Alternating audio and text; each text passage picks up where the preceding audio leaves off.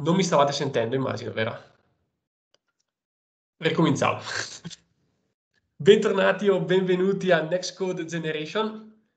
Oggi parleremo di GraphQL insieme a Tiziano Pessa e Lorenzo Spinelli di Register.it.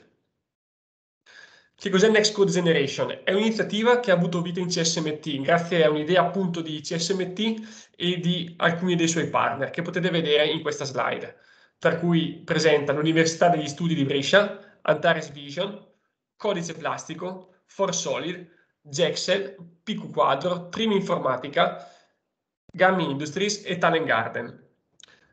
In questa slide potete vedere anche gli indirizzi internet, eh, il sito internet di Next Code Generation, nextcodegeneration.it, il canale Instagram Next Code Generation, la pagina Facebook Next Code Generation sempre e il canale YouTube CSMT Gestione dove carichiamo tutte le, ehm, le sessioni precedenti.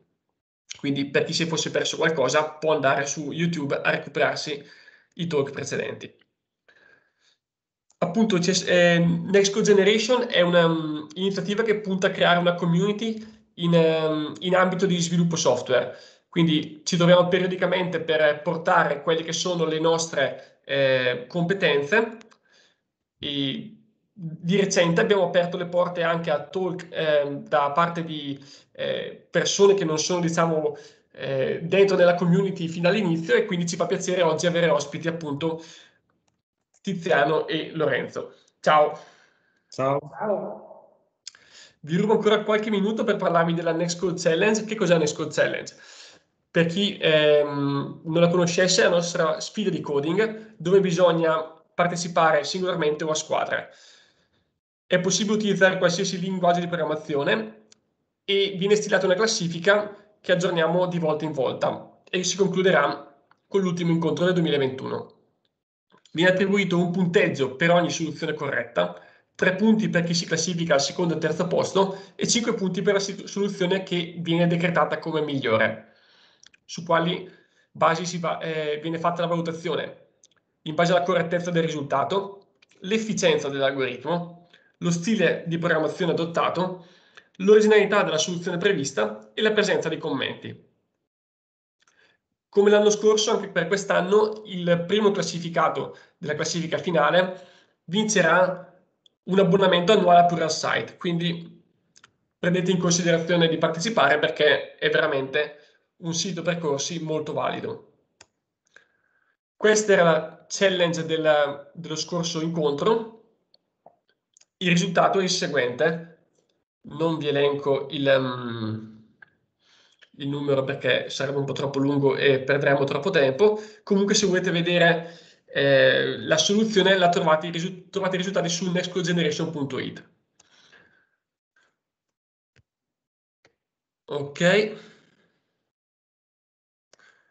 ha vinto Oldman, che anche in, anzi ha vinto Stefano questo, questa, um, questa challenge, però è primo in classifica ancora Oldman con 13 punti. Quindi attualmente abbiamo due persone in classifica, cercate di partecipare il più possibili che così provate a vincere um, l'abbonamento a Pluralsight. Questa è la challenge del prossimo incontro, quindi avete un mesetto di tempo per farla. Una matrice G di dimensione m per n con m e n compresi tra 1 e 20 è tale che G di DJ appartenente a 0,1 per ogni I appartenente a 1m e J appartenente a 1n è possibile modificare il contenuto della matrice effettuando la negazione binaria di una qualsiasi delle sue righe o colonne un qualsiasi numero di volte, considerandole come numeri aventi come cifre i valori nelle celle corrispondenti. Definendo VG la somma dei numeri rappresentati dalle sue righe, qual è il massimo valore VG ottenibile modificando il contenuto della matrice un numero arbitrario di volte? Qua c'è un piccolo esempio che spiega appunto ehm, la regola di questa challenge. Non dovete prendere appunti perché comunque verrà caricata sul sito e vi verrà inviata per email e quindi potete trovare il testo della, della sfida appunto su internet. Come partecipare? Basta inviare una, una mail a challenge.generation.it la scadenza è domenica 20 giugno. bisognerà scrivere in oggetto il Next Call Challenge numero 04 con il nickname della vostra squadra, nel corpo della mail i partecipanti, il linguaggio utilizzato e la soluzione che avete trovato e come allegato che è obbligatorio per la valutazione il codice del programma. Per restare in contatto vi suggeriamo di aggiungere in rubrica il numero 371 168 8930, scrivere un messaggio su WhatsApp Nextcode On e, e vi eh, iscriverete al, al, nostro canale diciamo, di mh, mm, notizie su WhatsApp per tenervi aggiornati su Nextcode Generation. Prima di lasciare la parola ai ragazzi, eh, vi ricordo che il, um, il prossimo incontro sarà il 30 giugno 2021 parlerà Alberto Acerbis di ForSolid e parleremo di Chaos Engineering. Eh, Alberto è molto competente in materia, è un eh, sviluppatore molto esperto, eh, fa parte della community, quindi vi consiglio fortemente di iscrivervi. Adesso lascio la parola a Tiziano e Lorenzo. Vai, ci siamo. Allora, Prego. Vai. Grazie Marco, eh, vi condivido lo schermo che dovrebbe essere eh, arrivato adesso. Ok, ehm, allora come, come, appunto diceva Marco oggi parleremo di GraphQL, capiremo insieme che cos'è, eh, come funziona, quali sono le sue eh, key feature e quali sono i suoi casi d'uso. Uh, però prima di tutto facciamo le presentazioni, noi siamo Tiziano e Lorenzo, eh, qui trovate tutti i nostri riferimenti, siamo due mh, mm, full stack developer eh, e lavoriamo per Register It, eh, l'azienda mm, che si occupa di domini hosting, email, probabilmente la conoscete, insomma è abbastanza nota nel, nel settore, mh, mm, nel nostro settore. Ne approfitto per dire che stiamo anche cercando degli sviluppatori, per cui se vi interessa mandate il vostro curriculum e sarà ben accetto. Veniamo all'argomento di oggi. GraphQL. Eh, capiamo innanzitutto dove nasce GraphQL e perché nasce GraphQL. Eh, GraphQL nasce all'interno di eh, Facebook e nasce con un'esigenza specifica, eh, esattamente nel 2012, perché nel 2012 ehm, Mark Zuckerberg si rende conto che eh, la strategia che stava seguendo Facebook eh, per venire incontro alla mh, crescente eh, numero di device mobile che in quel momento stavano approdando a, a, su Facebook eh, era sbagliata. Essenzialmente avevano puntato tutto sul sito web. Eh, quindi anche l'app che loro avevano realizzato era in pratica un'app che eh, navigava il loro sito web. Eh, non avevano realizzato eh, delle app native, come invece stavano facendo tutti i loro concorrenti. Eh, si rendono conto di questo nel 2012 e nel 2012 decidono quindi di eh, creare la prima app nativa di Facebook, che era un'app per iOS. Chiaramente dovendo sviluppare questa app nativa, ehm, ovviamente decidono di utilizzare le API che già erano disponibili ehm, per il sito web, quindi erano delle API REST. Il problema però è che immediatamente eh, si rendono conto che ehm, c'erano delle difficoltà e queste difficoltà eh, già da subito escono fuori con il newsfeed che è la pagina di approdo diciamo di, eh, di, di, Facebook perché è una pagina in realtà molto complessa che contiene moltissimi riferimenti ai nostri amici, le loro attività, i like, i post eccetera. E quindi ehm, dovendo fare delle chiamate REST su questa pagina si rendono conto che si sviluppa una serie di problemi. La loro, la loro prima versione della loro app aveva diversi problemi, tra cui il principale era che ehm, era molto lenta questa, questa app. Perché era molto lenta? Innanzitutto perché, come abbiamo detto, c'erano moltissimi... Eh, moltissime risorse da recuperare e da ricombinare all'interno dell'app eh, quindi devono partire dall'app moltissime chiamate. Ovviamente questo eh, corrispondeva ad un utilizzo eh, diciamo intensivo del collegamento eh, del, del, device mobile. E come ultimo problema c'era che eh, se per caso durante la sequenza di chiamate avveniva un errore, ehm, bisognava ricominciare tutte le chiamate da capo perché altrimenti si sarebbero creati degli stati inconsistenti. Questo, questi, queste cause portano ad una lentezza della loro app che non era sostenibile, non era diciamo, competitiva.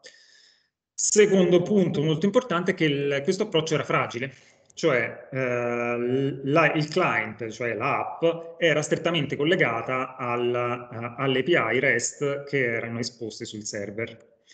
Eh, finché diciamo, su, non c'era nessun cambiamento su queste API eh, funzionava, ma quando c'era un cambiamento sulle API bisognava far seguire immediatamente un cambiamento anche sulla app, altrimenti eh, smetteva di funzionare essenzialmente.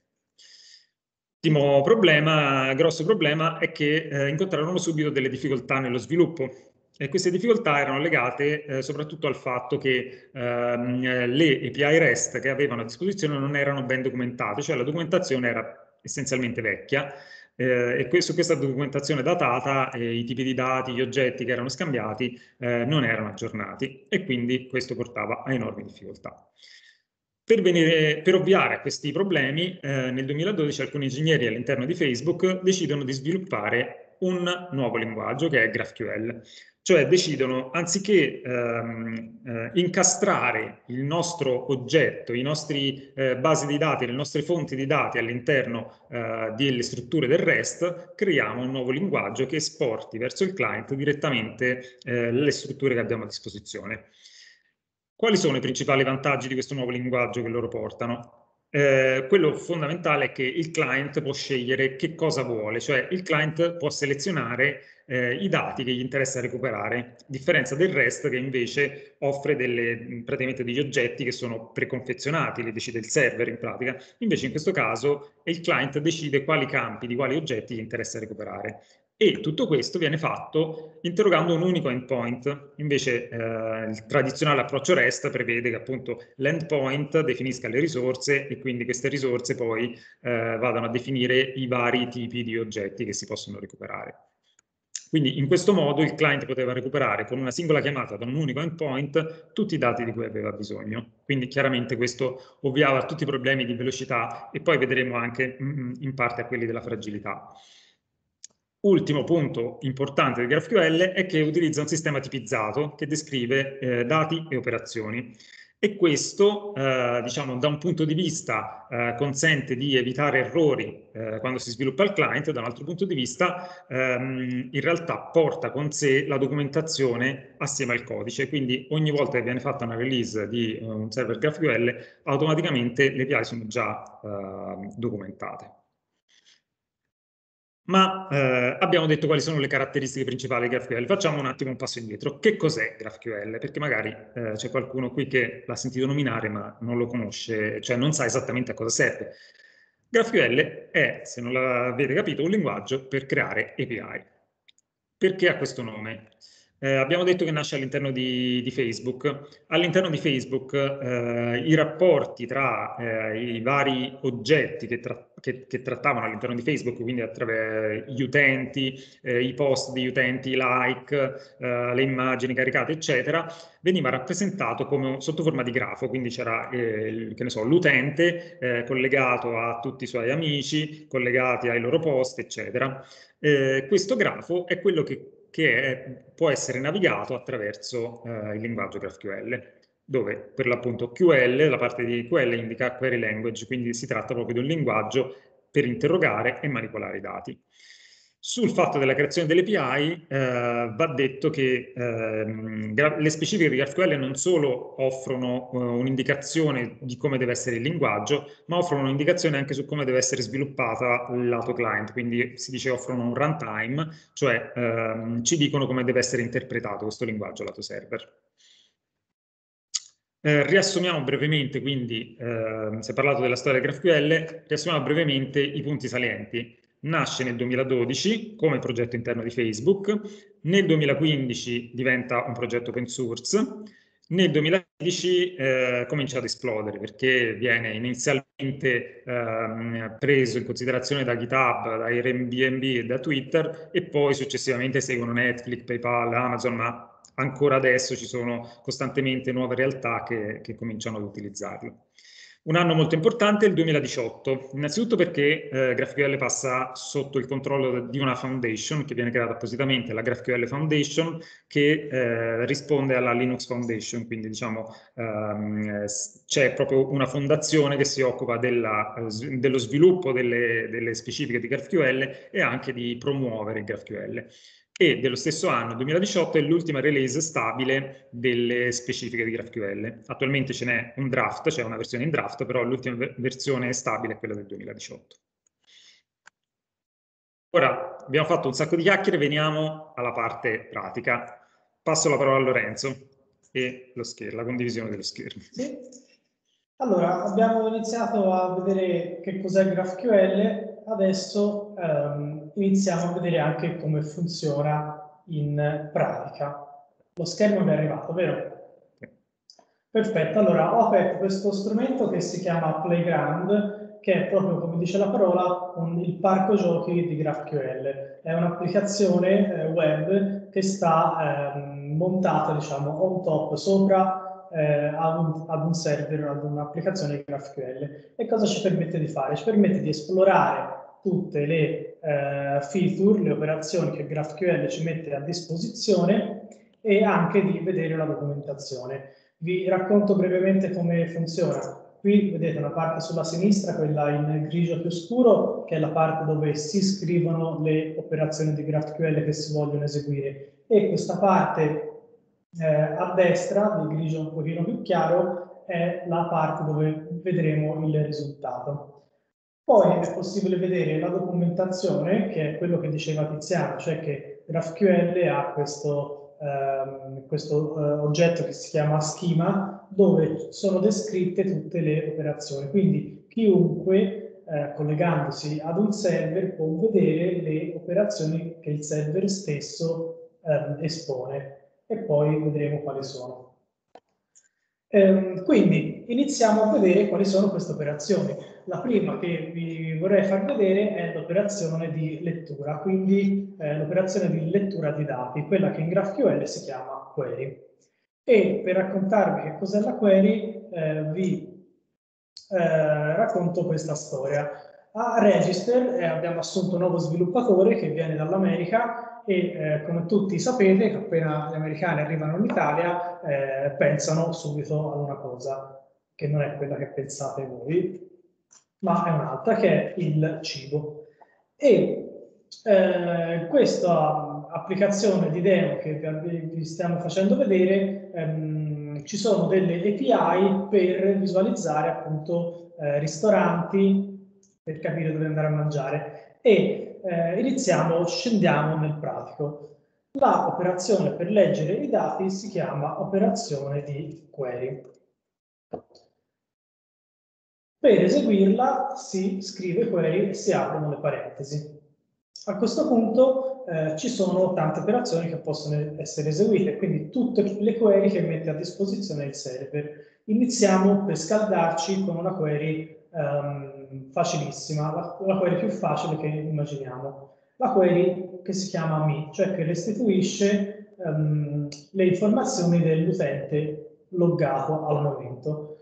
Come potete vedere si è aperto l'autocomplete perché mettendo il server GraphQL a disposizione la documentazione, ehm, il Playground, l'applicazione Playground ne fa uso per darci dei consigli. La query me e eh, per eseguirla si mettono le parentesi graph e nelle parentesi graph ehm, mettiamo i dati che il client vuole ricevere. Quindi Tiziano prima ci ha detto che eh, la grande innovazione di GraphQL è quella per cui il client decide quali sono i dati che vuole eh, recuperare dal server e lo vediamo proprio in azione. Il nostro eh, autocomplete ci propone questi tre campi che sono username, first name e last name e noi decidiamo di prendere lo username. Eseguiamo la query e vedremo che il server ci restituisce una risposta. Questa risposta come, fa, come è fatta? È un oggetto JSON, quindi simile a quella del REST, che contiene sempre un campo data e all'interno del campo data c'è un altro campo che si chiama come il nome della query che è stata eseguita. Adesso si vede meglio, giusto? all'interno dell'oggetto che è stato restituito ci sono i campi che noi vogliamo. In questo caso l'username è guest. Andando avanti possiamo far vedere che ehm, è possibile recuperare anche altri campi, ad esempio il first name, in questo caso quindi se eseguiamo la query ci verrà restituito l'username e anche il first name e ovviamente anche il last name. Qual è la potenza di questa cosa? La potenza di questa cosa è che eh, un client può, potendo decidere um, quali dati, di qua, do, potendo decidere quali dati può prendere, può ottimizzare eh, le richieste che fa verso il server e quindi far risparmiare ehm, dati al cliente, al cellulare del cliente, far risparmiare banda al server e quindi eh, siamo tutti contenti.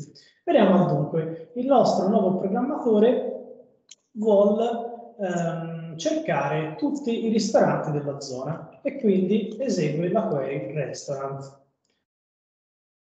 La query restaurant mh, mm, restituisce molti dati. Nel nostro caso il nostro programmatore vuole vedere il nome del ristorante, l'indirizzo e la città.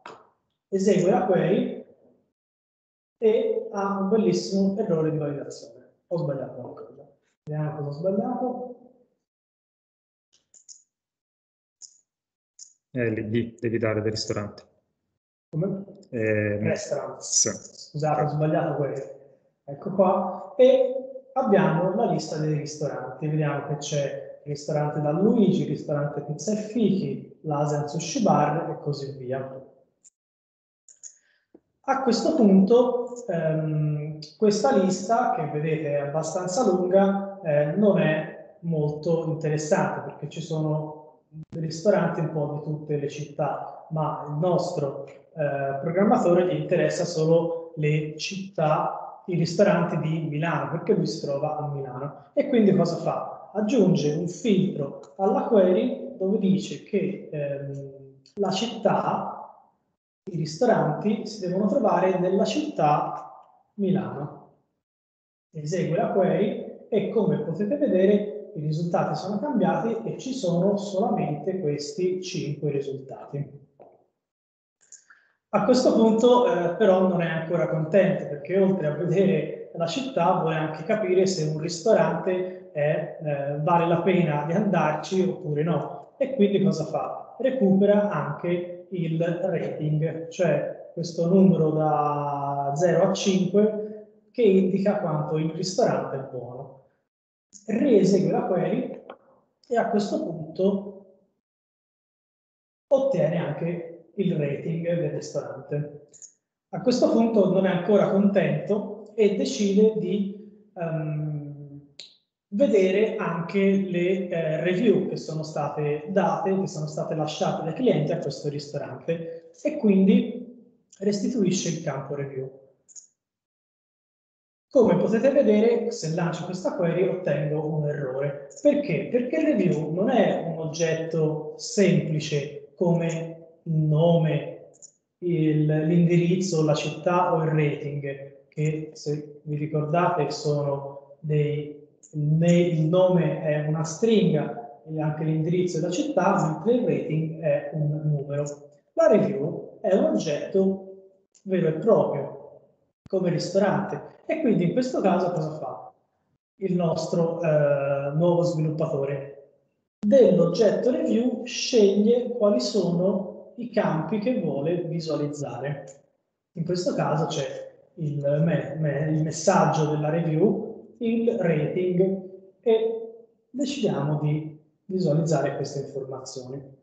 Come potete vedere stiamo aggiungendo via via campi alla nostra query e in questo caso abbiamo anche le review che è una lista che contiene le varie review che hanno un messaggio e il rating proprio eh, l'indirizzo, proprio le informazioni che noi volevamo.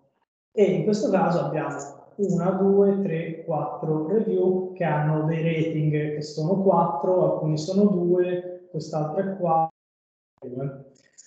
A questo punto eh, cosa succede? Il nostro nuovo sviluppatore non è contento di leggersi tutte le review perché non sono molto interessanti e ci mette troppo tempo, per cui decide di leggere solamente le review che hanno un eh, rating maggiore di eh, 2. Quindi cosa fa? La nostra query la modifica mettendo un ulteriore eh, argomento, un, un ulteriore parametro al sotto oggetto review. Esegue la query e quello che diciamo 3, perché prende da 2 compreso in su. Quindi, eh, come potete vedere, il risultato cambia e nel mitico ristorante da Luigi vengono visualizzate solamente le review che eh, hanno un punteggio maggiore di 3.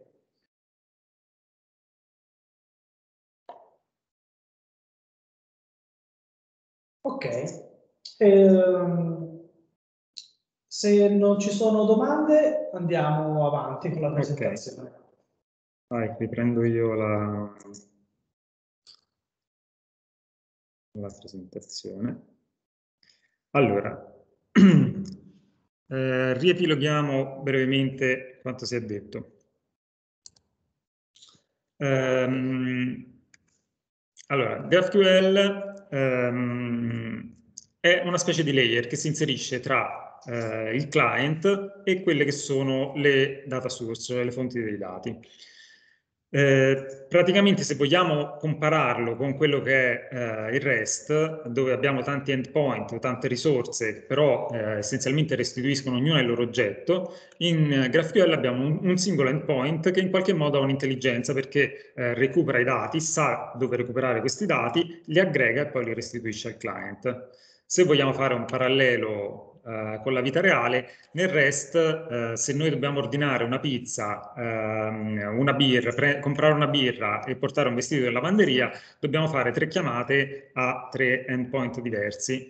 Mentre con il GraphQL in pratica è come se noi avessimo una fantastica eh, assistente virtuale a cui diciamo io voglio una pizza, una birra e portami questo vestito in lavanderia, eh, la nostra assistente fa le cose per noi, sa gli indirizzi di tutti i negozi e ci restituisce eh, la pizza, la birra e il vestito lavato. Quindi eh, diciamo il client in questo modo si interfaccia solamente con un unico endpoint chiedendogli tutte le, le, le risorse che vuole recuperare. Eh, vediamo un pochino più in dettaglio qual è l'architettura di un sistema GraphQL. Abbiamo detto che si tratta di un sistema client-server, quindi esattamente come il REST. Eh, rispetto al REST in più, ehm, oltre al client-server c'è un terzo elemento che fa parte di questo ecosistema che è eh, il GraphQL Schema. GraphQL Schema è eh, un documento in pratica eh, nel quale vengono indicati tutti gli oggetti e le operazioni che possono essere effettuate su di essi. Um, quindi no, un flusso normale di eh, una query GraphQL avviene con il client che eh, appunto interfacciandosi con lo schema e quindi eh, recuperando le informazioni su quello che può o non può fare i tipi di dati esposti dal server, eh, effettua una query verso il server ehm, chiedendogli ad esempio dei dati. In questo caso il nostro server al suo interno ha, ehm, nel cuore di un server GraphQL ci sono delle funzioni che si chiamano resolver. Eh, queste funzioni hanno il compito di recuperare i dati, poi entreremo maggiormente nel dettaglio più avanti. Essenzialmente però possiamo immaginare che appunto nostro, i nostri resolver possano recuperare dati da varie fonti, eh, che non necessariamente sono omogenee, addirittura può recuperare da altre API, da database di qualsiasi tipo, ma anche da un file system, da ovunque. Eh, una volta che questi dati sono stati recuperati, vengono aggregati eh, come ce li ha chiesti il client e quindi vengono restituiti al client. Eh, Lorenzo ci ha spiegato, ci ha fatto vedere qualche esempio di operazioni in GraphQL. Essenzialmente le operazioni che abbiamo visto con Lorenzo sono tutte query. Come abbiamo visto, le query servono per recuperare dei dati. In GraphQL in realtà esistono tre tipi di operazioni, quindi oltre alle query che abbiamo visto con Lorenzo, eh, ci sono eh, le mutation, che servono invece per modificare i dati, quindi diciamo se vogliamo fare un parallelo ehm, con un database relazionale diciamo che le query sono delle select, eh, le mutation sono delle update, delle insert oppure delle delete. Eh, esiste poi un terzo tipo di operazioni che si chiamano subscription, che sono in qualche modo eh, molto innovative eh, dal punto di vista di GraphQL, perché eh, non esiste, se noi appunto partiamo sempre da un parallelo con il REST, non esiste un parallelo in REST delle subscription. Um, le subscription sono infatti una, un tema molto interessante del GraphQL. Eh, più avanti le spiegheremo un pochino più nel dettaglio come funzionano. Um, vi dico brevemente che si tratta in pratica di uh, sottoscrizioni a servizi push da parte del server, cioè il client chiede avvertimi ogni volta che succede un determinato evento e quindi una volta che è stata effettuata questa sottoscrizione il server invia uh, diciamo, dei dati ogni volta che succede un determinato evento. Poi dopo faremo un esempio un pochino più pratico. Riepiloghiamo anche brevemente quanto abbiamo visto con Lorenzo, quindi come è fatta una query GraphQL? Più o meno ha questo aspetto qui. Um, c'è la parola chiave query che ci indica appunto il tipo di operazione, può essere query, mutation uh, o subscription, in questo caso è una query. Uh, c'è un nome, in questo caso che è get all restaurants, che è opzionale, però diciamo normalmente si mette quando si sviluppano uh, sistemi di produzione. Ora, quando si fanno esempi veloci da, dal playground si può anche omettere, normalmente si mette anche perché serve nel caso di debug, nel caso di operazioni multiple, eccetera. Ci possono essere, questo lo vedremo più avanti, delle variabili che poi vengono utilizzate all'interno della query. Eh, normalmente quando ci sono eh, degli oggetti che hanno il nome al plurale, come appunto succede in questo caso con restaurants e review, eh, per convenzione si tratta di array, cioè il risultato sarà una molteplicità di oggetti di cui vogliamo recuperare i campi che sono specificati lì. Eh, ci possono essere degli argomenti, l'ha mostrato Lorenzo con siti, con eh, il rating, quelli sono argomenti che vanno a modificare il risultato che ci viene restituito dal server.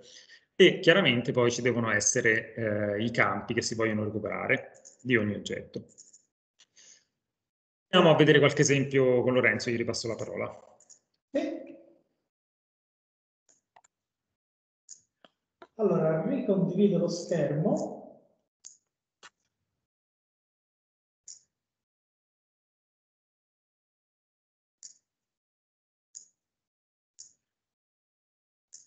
Ed eccoci qua sul playground ancora. Come faccio a chiudere questo? Si è aperto. ok. Allora, parliamo di mutation. Le mutation sono le operazioni che servono per scrivere i dati eh, sul nostro server. Nel nostro caso, nella nostra applicazione eh, di esempio, abbiamo preparato alcune mutation che servono per um, fare delle operazioni sul nostro server, come ad esempio creare una review oppure aggiungere una risposta ad una review inserita. Le review, abbiamo, se vi ricordate dell'esempio di prima, sono eh, degli, dei messaggi con un voto che possono essere applicati ai ristoranti. Per aggiungere, eh, per eseguire una mutation si utilizza la parola chiave mutation, seguita dalle parentesi graffe e poi si inserisce il nome della mutation che si vuole eseguire, nel nostro caso create review. Create review che ehm, avrà degli argomenti, dei parametri da passargli che eh, vedremo fra un attimo e poi eh, restituirà un oggetto di tipo review. Questo oggetto di tipo review, ehm, come risposta dal server, noi vogliamo che ci restituisca il messaggio che abbiamo inserito, il rating che abbiamo inserito, il ristorante su cui è applicata la review e di questo ristorante eh, vogliamo prendere eh, il nome, diciamo, il rating globale e anche il eh, numero delle review. Veniamo a eh, i parametri che vanno, eh, le cose, le informazioni che vanno passate a questa mutation create review per essere eseguita. L'argomento, eh, il nome dell'argomento è input, che non è un messaggio semplice, ma è un eh, oggetto, un oggetto che contiene eh, alcune informazioni che come potete immaginarvi so, sono l'id del ristorante sul quale vogliamo eseguire la review che nel nostro caso diciamo che è il numero 10. Poi il eh, messaggio che vogliamo eh, lasciare su questo ristorante, che in questo caso eh, scriviamo ciao, tutto era buonissimo. E siccome tutto ci è piaciuto, diciamo che come rating diamo un bel 5. A questo punto abbiamo compilato tutti i dati e siamo pronti per eseguire la nostra mutation. La eseguiamo e la risposta che ci dà il server è come sempre un oggetto JSON, anche nel caso di scritture.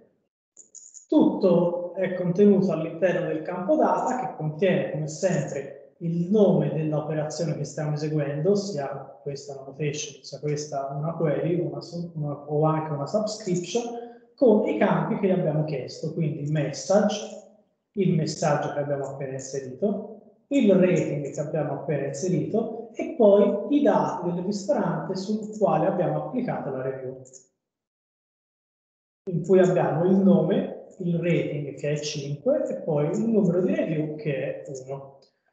Cosa succede se ehm, aggiungiamo un'altra review a questo ristorante? Quindi restaurant ID eh, avrà lo stesso ID. Questa è un'altra persona che mette la review e dice eh, non mi è piaciuto niente e come voto invece di dare 5 da un 1. Eseguiamo la nostra mutation e vediamo che il server ci ha risposto con il messaggio che abbiamo appena inserito, il voto, il, rating che abbiamo appena inserito e ovviamente i dati del ristorante eh, che mh, concernono le review sono cambiati, quindi il nome è lo stesso, il rating è sceso a 4,5 4,5 e il numero delle review è salito. Se ne aggiungiamo un altro per fare un altro esempio, eh, non male, ma c'è di meglio. Eseguiamo la mutation, vediamo che il voto cambia e anche il numero delle review cambia. Come diceva Tiziano, è possibile dare un nome alla mutation e adesso lo facciamo e diciamo che la nostra mutation si chiama create review. Per dare il nome alla notation si fa così. Ed è possibile anche aggiungere delle variabili alla nostra notation. Quindi nel nostro caso possiamo definire quali sono le, varia le variabili che vogliamo utilizzare.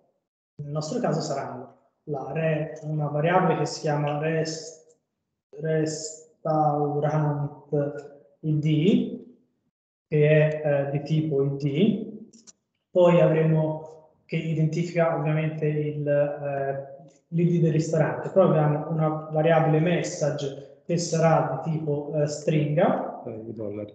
Come? Mettici i dollari in cima alle variabili. Sì, ovviamente, scusate, le variabili devono essere precedute dal simbolo dollaro che serve per dire che queste sono delle variabili. E poi mettiamo la variabile rating che sarà di tipo eh, int, con la minuscola, giusto? A questo punto cosa succede? Nella nostra mutation sarà possibile non utilizzare dei valori eh, fissi, statici, diciamo così, ma utilizzare le variabili tramite l'espressione dollaro e nome della variabile. Restaurant id. Message, invece che essere il messaggio cablato, diventa la variabile message e rating su succede eh, lo stesso, quindi usiamo la variabile rating. rating. Cosa succede se a questo punto eseguiamo la nostra notation? Succede che eh, abbiamo un errore. Ok. Questo. Okay. Abbiamo diversi errori. Eh, questo è perché mi ero dimenticato di mettere il punto esclamativo che serve per dire che questa, questa variabile è obbligatoria. Però, anche se la scrivo giusta, abbiamo un errore. Questo errore ci sta dicendo che io ho eseguito questa notation create review, ma non ho passato alcun valore. Quindi il playground ci mette a disposizione questa, uh, questa sezione per definire quali sono i valori delle variabili. Quindi io definisco che la variabile restaurant id ha valore 10, che la variabile eh, message ha come eh, valore eh, mi è piaciuto dolce e la variabile uh, rating ha come valore 4. A questo punto se andiamo ad eseguire la nostra mutation, il, eh, la mutation è eseguita e quindi il server ci restituisce il messaggio che abbiamo inserito, il rating che abbiamo inserito e ovviamente è cambiato il rating rispetto a prima e anche il numero delle review. Eh, forse vi state eh, chiedendo a cosa serve eh, utilizzare le variabili e dare i nomi alle eh, notation e anche alle query. Serve fondamentalmente per due motivi. Eh, il primo eh, lato client, cioè il lato di chi chiama, chi esegue la query, è per non dover eh, scrivere nel codice della, una concatenazione di stringhe, quindi essere meno prone a errori di questo tipo. L'altro grande vantaggio lato server sta che ehm, nel fatto che quando eseguiamo questa mutation nella, nei dati che vengono trasmessi, trasmessi al server la mutation rimane sempre uguale e cambiano solamente le variabili che noi gli spediamo. Questo permette al server di poter eseguire delle operazioni di cache, ad esempio, e velocizzare, quindi capire prima, non dover parzarsi eh, un'altra volta la query che sta arrivando, la mutation che sta arrivando, ma sapere che quella, questa query ce l'ho già in cache e quindi ehm, aumentare le performance. Ovviamente le eh, mutation possono, eh, abbiamo visto che in questo caso le abbiamo utilizzate per inserire dei dati, ma possono anche essere eh, utilizzate per cancellare le date, quindi potrebbe essere, eh, esserci la mutation delete review che si prende in input sicuramente l'id della review e ovviamente possono esserci anche le mutation per aggiornare un dato, quindi eh, update review ad esempio, oppure anche update resto, restaurant name, oppure potrebbe esserci la mutation update restaurant e così via. A questo punto eh, ripasserei la parola a Tiziano e andiamo avanti con la presentazione. Ok.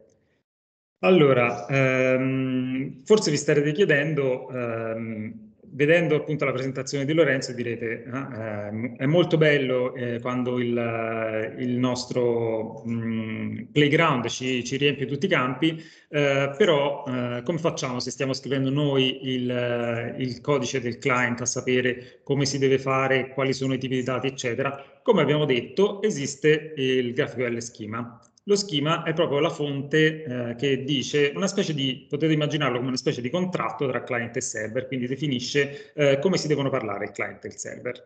Eh, vediamo proprio in maniera breve e veloce come è fatto lo schema della nostra applicazione di esempio. Eh, abbiamo essenzialmente ehm, alcuni oggetti. Questi oggetti eh, sono definiti attraverso la parola chiave type. Eh, in questo caso quella che vedete è la definizione dell'oggetto utente, user, che ha tre campi, username, first name e last name. Per ogni campo va specificato qual è il tipo di quel campo. In questo caso si tratta di tipi stringa. Il punto esclamativo che vedete in fondo, come va detto Lorenzo, è quello che viene chiamato not null modifier, cioè eh, ci dice che quando il server ci restituirà un oggetto di tipo user, eh, quei tre campi non potranno mai essere null. Eh, I tipi eh, come string, appunto, come vi diceva Lorenzo, si chiamano tipi scalari e in GraphQL sono definiti cinque tipi scalari che sono int, float, string, boolean e id. Eh, tutti gli altri tipi li dovete definire voi. Attraverso questa definizione qui che vedete, type, eh, noi stiamo in pratica definendo un nuovo tipo, il tipo user. Abbiamo poi eh, un restaurant nel nostro schema che come vedete ha già più campi e tra questi ce n'è qualcuno un po' più interessante, ad esempio review eh, review, eh, in questo caso ci torna un array e lo deduciamo dal fatto che l'oggetto review eh, è tra parentesi eh, quadre. Questo indica che il risultato sarà un array, un array di oggetti review. Eh, inoltre eh, questo campo è anche interessante perché prende un argomento che è rating, che però in questo caso è opzionale, non essendoci il punto esclamativo. Abbiamo altri due oggetti sono review e reply, eh, per l'appunto, che fanno ampiamente uso del riferimento tra di loro. Quindi una volta che si è definito un certo tipo nello schema, eh, questo tipo può essere utilizzato esattamente come qualsiasi altro tipo eh, built-in di GraphQL. Eh, per concludere eh, la parte sullo schema, esistono altri tre tipi. Questi tre tipi sono speciali perché sono eh, dei tipi che identificano degli oggetti particolari, cioè le query del nostro schema, le mutation e le subscription. Nel, in uno schema GraphQL l'unico di questi tipi che è obbligatorio è query, gli altri due sono opzionali, però tendenzialmente almeno mutation solitamente c'è.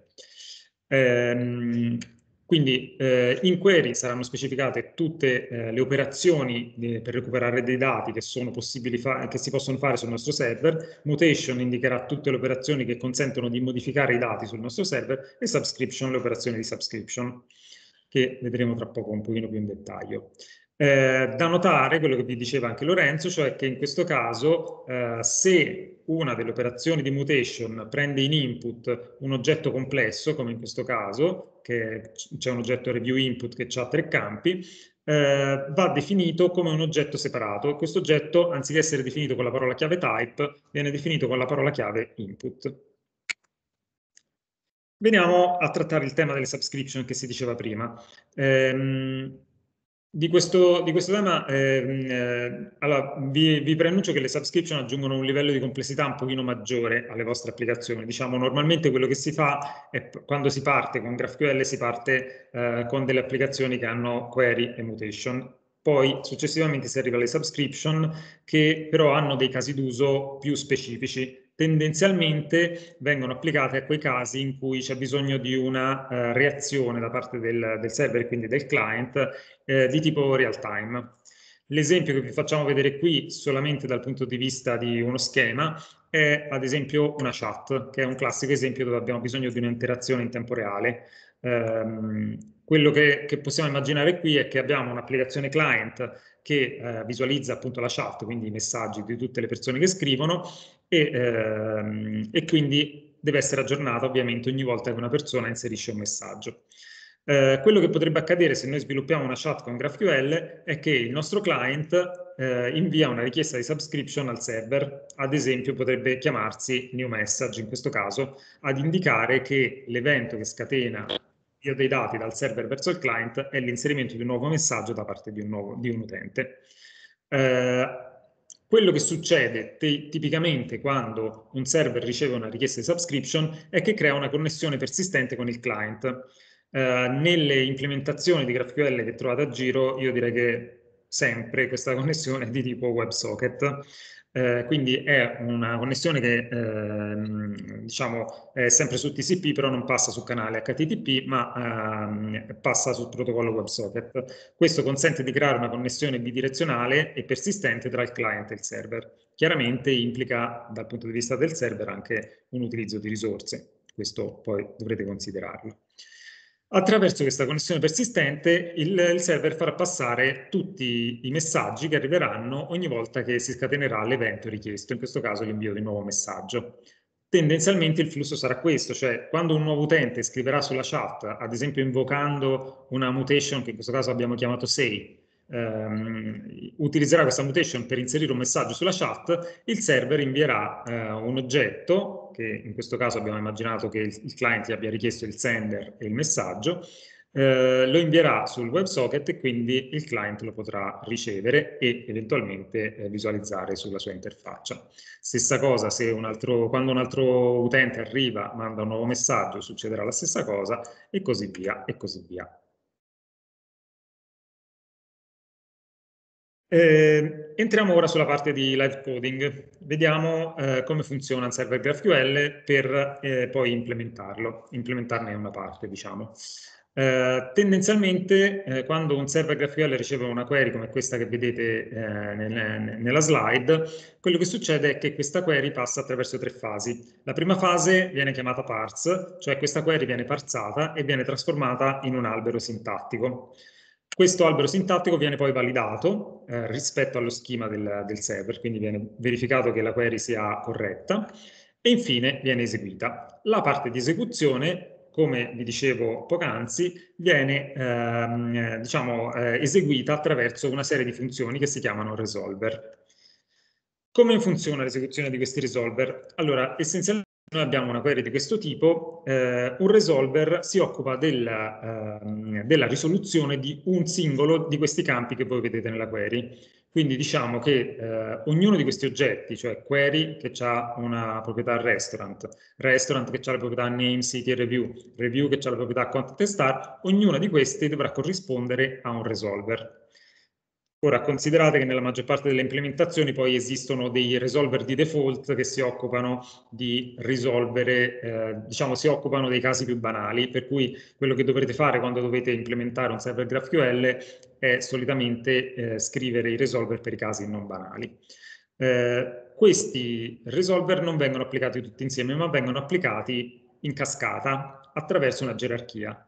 Um, potete anche intuirla nel modo in cui noi abbiamo indentato questa query che vedete qui. Potete immaginare che ogni livello di indentazione rappresenta un livello della gerarchia dei resolver. E più specificatamente, il primo resolver che viene applicato è quello dell'oggetto query, cioè eh, il, quello che si chiama il root resolver, il root query resolver in questo caso. Quindi viene, eh, esiste un resolver nella vostra applicazione che deve risolvere l'oggetto restaurant, che tra l'altro ha l'attributo id uguale 1. Eh, tendenzialmente questo resolver farà qualcosa come recuperare da una fonte di dati il ristorante con id1, quindi recupererà un oggetto di questo tipo, immaginiamo. Eh, su questo oggetto verranno applicati poi i resolver di livello inferiore, cioè ad esempio il resolver sull'oggetto restaurant. Tendenzialmente ci saranno due resolver banali, quindi che da questo oggetto tireranno fuori il name e la city, e poi ci dovrà essere un resolver che da questo oggetto tira fuori le review. E questo è un resolver più complesso perché dovrà recuperare tendenzialmente da un data source, che può essere lo stesso o un altro data source, eh, tutte le review che corrispondono al ristorante con questo ID. Quindi tipicamente utilizzerà eh, l'ID del, dell'oggetto ristorante per recuperare le review. Eh, se noi immaginiamo che appunto le, il data source sia un, un, database relazionale, essenzialmente questo corrisponde a fare un'ulteriore query su questo database per recuperare tutte le review.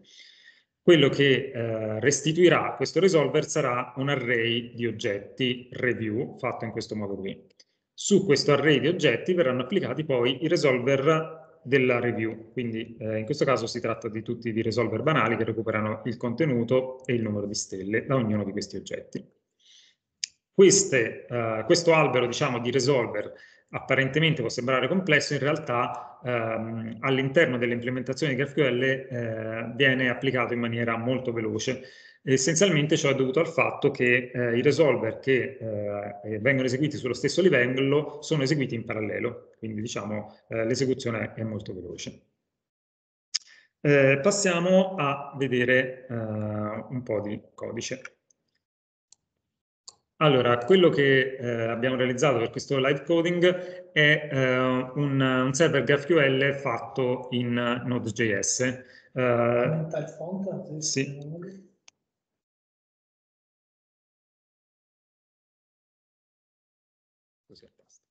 Okay. Eh, un, un, un, server GraphQL realizzato in Node.js, eh, essenzialmente perché eh, Node.js? Perché l'implementazione in Node.js è molto semplice, ehm, e perché GraphQL inizialmente nasce eh, nel mondo JavaScript, perché l'implementazione di base di, data da Facebook, rilasciata da Facebook, è quella su eh, JavaScript, che poi è stata portata negli altri linguaggi. Eh, per la nostra implementazione abbiamo utilizzato una particolare eh, implementazione di GraphQL che è quella fornita da Apollo. Eh, Apollo in pratica, per chi di voi non lo conosce, è eh, la, diciamo, lo standard de facto, almeno nel mondo JavaScript, per l'implementazione sia del client che del, che del server eh, GraphQL. In questo caso, come vedete, eh, scrivere un server eh, GraphQL con Apollo è veramente questione di poche righe. Quello che dovete essenzialmente fare è definire, eh, cioè inizializzare l'oggetto Apollo Server con eh, passandogli questi due oggetti che sono eh, questo type defs che contiene lo schema, che in questo caso abbiamo eh, su un altro file, quello che vedete qui è una versione semplificata perché ehm, per questione di tempo, per l'esempio, faremo vedere un particolare resolver. Eh, e poi eh, passati, viene passato l'elenco dei resolver, appunto, che andremo a implementare insieme. Eh, una volta definito il server, questo server viene avviato e si mette in ascolto. Quindi se noi facciamo il nostro npm start, in pratica il nostro server partirà. E eh, il bello di Apollo Server è che eh, parte di già, quando non si trova in un ambiente di produzione, parte di già con il playground. Eh, quindi avrete già il vostro bel playground che gira. Eh, dato che il playground per l'appunto legge dal, dal, nostro schema, in questo caso abbiamo anche eh, il nostro supporto per scrivere le query. Abbiamo definito qui la nostra, nel nostro schema c'è definita la query restaurants eh, e qui possiamo immaginare di recuperare ad esempio il name e la city eh, di un certo ristorante. Che cosa succede se noi eseguiamo questa query? Ci darà un messaggio d'errore. Perché ci dà un messaggio d'errore? Perché il server prova ad applicare i resolver eh, banali, quindi prova a ottenere eh, un resolver banale per l'oggetto restaurant, ma in questo caso non ha nulla su cui lavorare, per cui ci dice che eh, Mm, questa query restituisce null, però nello schema è previsto che eh, l'elenco dei ristoranti non possa essere null. Per cui quello che dobbiamo fare è implementare i nostri resolver. Che cosa dobbiamo fare per implementare i nostri resolver? Eh, scrivo, ehm, diciamo, cerco di scrivere il codice nella maniera più, più, semplice possibile, così che anche chi di voi non fosse particolarmente avvezzo a Node.js dovrebbe riuscire a seguire. Allora, essenzialmente ehm, quello che vedete qui è eh, un oggetto che conterrà tutti i resolver della nostra applicazione. In questo caso, eh, come abbiamo visto nello schema della slide, dobbiamo scrivere il resolver di livello più alto, cioè il resolver dell'oggetto query. Quindi quello che dobbiamo fare è definire un oggetto query e all'interno di questo oggetto query definire un resolver che ci risolva appunto il campo restaurants. Come abbiamo detto, il resolver è una funzione e questa funzione deve restituire l'elenco dei ristoranti. Eh, per questioni di semplicità e di velocità, qui in questo caso abbiamo definito un data source che in realtà è cablato nel codice, che ci restituisce eh, l'array di tutti i ristoranti e l'array di tutte le review. Quindi in questo caso, eh, per semplicità, quello che possiamo fare è semplicemente restituire l'elenco di tutti i ristoranti e noi eh, riavviamo il nostro server e torniamo sul playground. Voilà, la nostra query funziona. Nel nostro, diciamo, applicazione di esempio ora ne ho, ne ho inseriti solamente tre, ce ne sono due di Milano e uno di Firenze. Bellissimo. Ehm, chiaramente ehm, eh, avete visto con Lorenzo che eh, su questa query restaurants c'è la possibilità anche di filtrare, cioè anzi di, re, di, restringere la ricerca solo per una particolare città. Bellissimo, allora io vorrei solamente i ristoranti di Milano. Provo a eseguire la mia query, però non cambia niente. Perché non cambia niente? Perché essenzialmente ehm, questo, tutto ciò che voi vedete nello schema e tutto ciò che può essere richiesto al server deve essere poi implementato. In questo caso noi non abbiamo ancora implementato il meccanismo che fa qualcosa con questo argomento che ci arriva dal client. Come possiamo fare? Allora, Apollo eh, mette a disposizione una serie di argomenti per i resolver. Il primo argomento è l'oggetto padre, che in, nel caso dei query, dei query resolver non ci serve, vedremo più avanti come utilizzarlo. Il secondo argomento sono proprio gli argomenti che vengono dal, dal client. In questo caso abbiamo visto che l'argomento città, city, è opzionale, quindi diciamo all'interno del nostro resolver dovremo fare un controllo se l'argomento è definito o meno.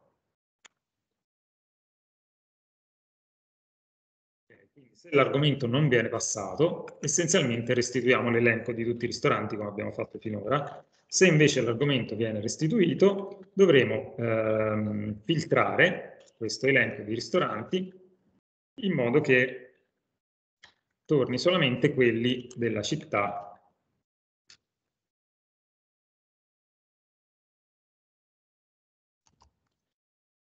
quelli che hanno la città esattamente uguale al nostro argomento.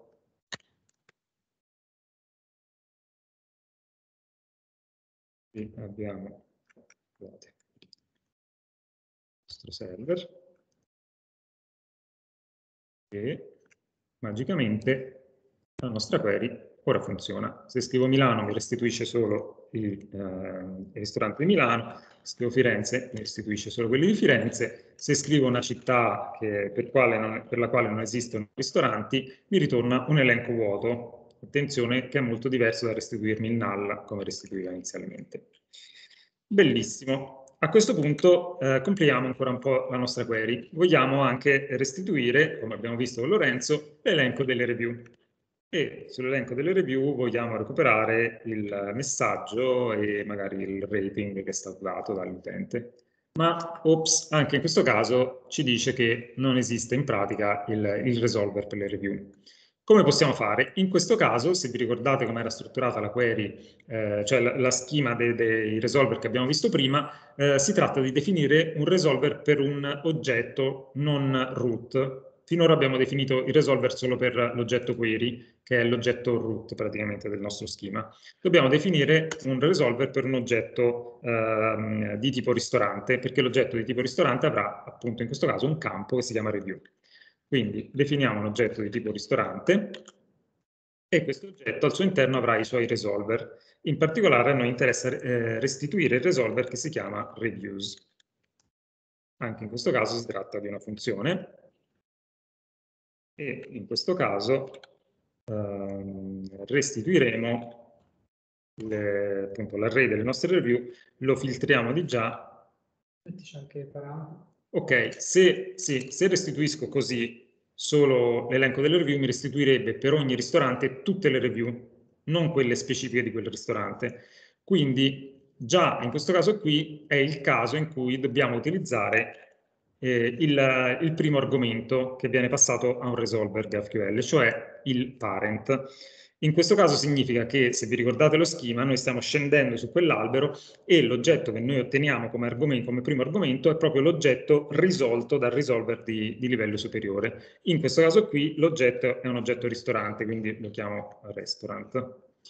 Eh, quindi quello che noi dobbiamo fare, dato che vogliamo restituire solamente le review eh, relative a questo ristorante e dire ok, eh, del, dell'elenco delle review mi restituirai solo quelle per cui il restaurant ID è esattamente uguale all'id dell'oggetto padre. Eh, in questo caso potete immaginarvi questo array delle review esattamente come fosse un database relazionale su cui abbiamo definito una proprietà restaurant ID che indica qual è l'ID del ristorante a cui fa riferimento. Eh, una nota di, giusto per chi non è proprio eh, esperto di JavaScript. Alla riga 14 eh, abbiamo detto che il resolver è una funzione che prende due parametri. Uno è l'oggetto padre e l'altro sono gli argomenti della query. Il JavaScript, per come è strutturato, ci permette e di non specificare il secondo argomento, ma nel secondo argomento ci, sono comunque gli argomenti. Sì, sì tendenzialmente eh, in realtà sono quattro gli argomenti che Apollo passa ai suoi resolver. In questo caso noi nel primo caso ne abbiamo utilizzato il 2, il primo chiaramente l'ho dovuto specificare per motivi posizionali, ma come vedete per convenzione l'ho fatto iniziare con un underscore per indicare che non lo sto utilizzando. Nel secondo caso per ora utilizziamo solo il primo argomento. Quindi, tornando al nostro playground, a questo punto la nostra query funziona. Eh, vengono restituite anche le review con il messaggio e il rating di tutte le review. Benissimo, concludiamo per, dicendo, uh, ok, voglio però solo uh, quelle che hanno un rating uh, di 5, da 5 in su, cioè 5. Anche in questo caso va implementato, come vedete se provo a lanciarlo non funziona. Quindi come lo implementiamo? Allo stesso modo visto sopra, cioè andiamo a recuperare eh, gli argomenti, in questo caso se eh, l'argomento non ci è stato passato eh, restituiamo esattamente quello che restituivamo prima, se invece l'argomento ci è stato passato filtriamo ulteriormente questo risultato in modo che il, no, il rating della review che viene restituita sia uh, uguale o superiore a, uh, alla, al nostro argomento.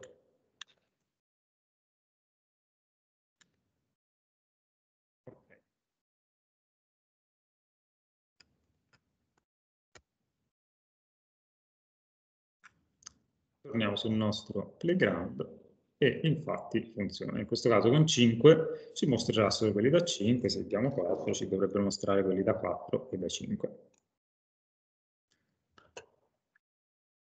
Spero siate riusciti a seguire la parte anche di, di, live coding. Abbiamo cercato di tenerla il più possibile semplice perché mh, mi rendo conto che poi i linguaggi magari non tutti conoscono gli stessi linguaggi, non tutti sono uh, uh, su, esattamente sul node, eccetera. Però questo esempio qui era giusto per far capire come funzionano appunto eh, l'applicazione dei resolver che poi essenzialmente costituiscono il cuore di, di un server eh, GraphQL.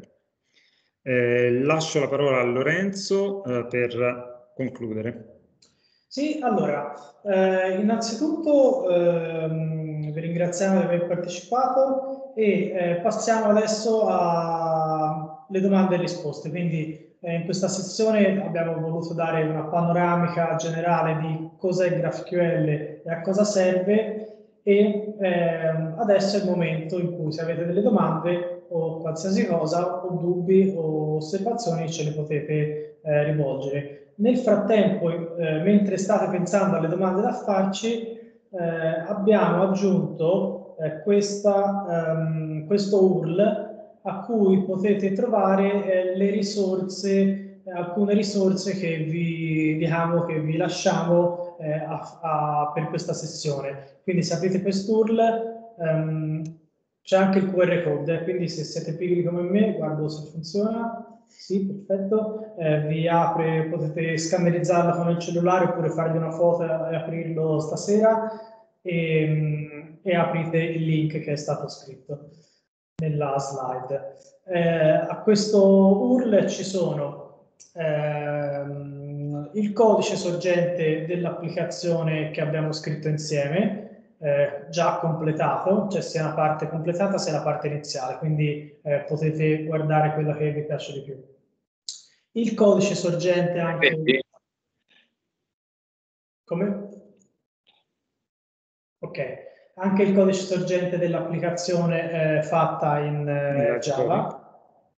Sì, di quella in live coding e di quella in Java che si è utilizzata, diciamo, negli esempi precedenti. Esatto. Quella che vi facevo vedere dal playground è un'altra applicazione, sempre sullo stesso eh, stile dei ristoranti e delle review, però fatta in un altro linguaggio che è Java. E poi trovate anche le slide, le slide questa presentazione, ehm, e poi c'è un, un, altro link con un breve eh, questionario se, se, volete compilarlo per noi, per, per dirci se vi è piaciuto oppure no. Quindi, avanti con le domande. Ehm, se non ci sono le faccio io. Grazie mille Lorenzo e Tiziano. Ehm, c'è una domanda. La registrazione della rete pubblica? Sì, caricheremo la registrazione sul canale di YouTube CSMT Gestione, quindi potete trovarlo lì nei prossimi giorni. Probabilmente già da domani pomeriggio. E innanzitutto volevo ringraziarvi perché è stato molto molto interessante, siete stati molto bravi completi sia dal punto di vista teorico e ho scoperto un sacco di cose che anche se avevo già utilizzato GraphQL non conoscevo. E anche dal punto di vista tecnico dove siamo scesi nei dettagli ovviamente eh, con, un, eh, con, un, esempio eh, con Node.js però è servito immagino a tutti. C'è una domanda nella chat poi dopo avrei una domanda da fare anch'io quindi leggiamo prima quella della chat. Dennis chiede i front-end quindi interrogono direttamente GraphQL per avere i dati oppure passano attraverso un layer intermedio. La business logic dove si trova? Dell'esempio abbiamo visto un po', però magari se vuoi approfondire, se volete approfondire Tiziano o Lorenzo. Sì, allora rispondo io, poi Tiziano integra quello che vuole. Allora, i front-end interrogano direttamente GraphQL. Eh, il layer intermedio tra i dati e il front-end è proprio GraphQL. Quindi eh, GraphQL, come abbiamo visto in una delle slide, è proprio questo layer che si mette tra le sorgenti dati che possono essere di vario tipo, ci può essere un DB, un API, un altro DB di un altro tipo, eh, un servizio di posta, di messaggistica, eccetera, e il front-end. La business logic eh, dove si trova? La business logic si trova sul server GraphQL, cioè eh, come nell'esempio che abbiamo scritto insieme, la business logic era molto semplice, cioè filtrava per eh, il D del, del, delle review o per rating, per il D del ristorante oppure per rating, però proprio, sta proprio nelle funzioni che risolvono eh, i dati chiesti dal front-end, che si chiamano resolver. Tendenzialmente, diciamo, il nostro consiglio è resolver tenerli sempre molto leggeri, quindi diciamo, eh, poi ognuno poi organizza la, le applicazioni come preferisce, però se voi avete un secondo strato che contiene la business logic, diciamo uno strato di servizio, tendenzialmente all'interno dei resolver quello che succede in un'applicazione di produzione solitamente è che all'interno del resolver c'è una chiamata allo strato di servizio per recuperare i dati o eventualmente modificare e fare altre cose. Perfetto, grazie Tiziano, Lorenzo. Ho anche una domanda. Beh, una me l'avete risposta nel corso delle slide, quindi il modello di input per creare la review appunto è un review input, quindi un, avete creato un modello ad hoc, quindi una sorta diciamo di DTO delle API REST normali, giusto? Sì, tendenzialmente in quel caso lì conteneva tre campi, hai visto? Sì. Si sarebbe potuta fare anche quella mutation con tre campi con dei tipi scalari semplici, però quando campi, il numero di campi in input comincia ad aumentare, già 3 secondo me è un numero critico, eh, vale la pena fare un oggetto di input che li racchiuda. Esatto. Poi una cosa che invece non ho compreso è perché nella definizione di restaurant il campo reviews aveva a sua volta un campo, cioè come, perché un tipo deve avere un campo parametrizzabile?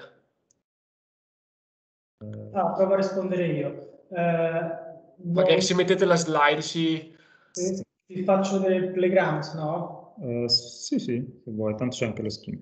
Sì. Ok. Ah, faccio vedere lo schema. Eh, sì. Allora, lo schema, lo schema, lo schema, eccolo qua, restaurant che dà un, un oggetto di tipo restaurant che eh, è un oggetto composto, cioè un tipo, diciamo, quindi ha eh, possibilità di tanti campi e tra i campi che gli si possono dare c'è il review che a sua volta ha il parametro. Ok, ho capito eh, adesso. Vabbè, finisci pure. Eh, sì, no, no, eh, cioè, tutto qua. In realtà quello che si può fare, noi l'abbiamo messo su reviews per dare un esempio, ma potrebbe essere messo su qualsiasi campo. Ad esempio, eh, dello schema, se la, la query no, che sto facendo non esiste, però eh, in, alcuni capi, in, alcuni casi magari potrebbe essere una cosa del genere. No? Io richiedo, eh, la, la, faccio la query me, cioè che mi dà i miei dati, e username, eh, lo voglio, username è un campo semplice, però facciamo la query sul restaurant, è più semplice. La query restaurants, eh, sul campo name potrei dirgli uh, stile, style, qui mettergli tu a per dire, no? In questo modo ehm, il server, cioè gli sto passando dei parametri al server, quindi il server in base ai parametri che, che il client ti passa può eseguire delle azioni. Questa cosa qua si può utilizzare per fare le ricerche, per applicare degli, eh, delle trasformazioni, eccetera, in base ovviamente alle esigenze dell'applicazione.